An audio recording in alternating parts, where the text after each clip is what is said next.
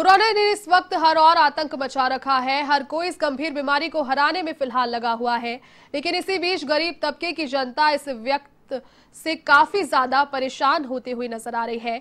मजदूर वर्ग का आदमी आज अपने घरों तक पहुँचने के लिए सड़कों पर पैदल ही उतर गया।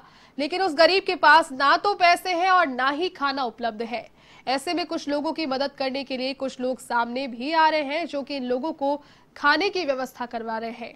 हम आपको आपके टेलीविज़न स्क्रीन पर राजधानी जयपुर के चाकसू, सीकर के फतेहपुर टोंक के देवली और उदयपुर के सेवारी की तस्वीर इस वक्त दिखा रहे हैं।